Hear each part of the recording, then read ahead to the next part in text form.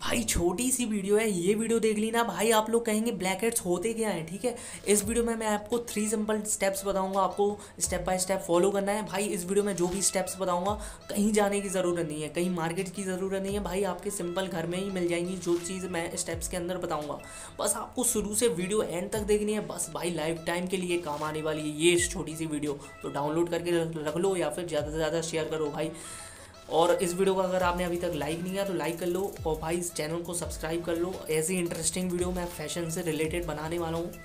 तो मेरे भाई, इस फ़ैशन ज़माने के दौर में वी फैशनेबल बी सेफ़ तो चलिए हम लोग वीडियो को करते हैं स्टार्ट अंगी घुमा के उल्टा टोपी टिका के गॉगल लगा के अपना कॉलर चढ़ा के सच धज के घर से टका टक डका डक निकल भाई मेरे टिप नंबर वन है, आपको बॉबी पेन लेना है। सबसे पहले एक बॉबी पेन लो। अगर बॉबी पेन नहीं पता, ये देख सकते हो, ये होता है बॉबी पेन आप अपनी मम्मी से ले सकते हो, आप कह सकते हो, आप फ़ोटो दिखा सकते हो, ये बॉबी पेन की, ठीक है? ये बॉबी पेन होता है, आपने भी कहीं ना कहीं देखा होगा, ठीक है? आपको सिंपल ये लेना है। ये लेने के बाद तो भाई मेरे इस टाइप से कुछ आपको निकालना है ब्लैक हेड्स आपको अप एंड डाउन करना है, ठीक है? ऐसे आप लोग कर सकते हो और यहाँ पर आपको थोड़ा टाइटली करना है जिससे पूरे ब्लैक हेड्स निकल जाए। अब सेकंड टाइप के बारे में बात करें तो वो है थ्रेड आपको एक थ्रेड लेना है बेसिकली ठीक है? आपके घर में पड़ा हुआ थ्रेड आपको थ्रेड लेने के बाद अप एंड डाउन करना है। भाई, इससे इंस्टेंट रिज़ल्ट मिलेगा। भाई, इस टिप्स पहली वाली टिप्स को फॉलो करने के बाद इस टिप्स को फॉलो करना है। भाई इंस्टेंट रिज़ल्ट देखने को मिलने वाला है, ठीक है? ये टिप्स फॉलो करो। भाई गारंटी लेता हूँ भाई, आपकी इंस्टेंट एक बारी में आपके पूरे ब्लैक हेड्स निकलने वाले हैं, ठीक है?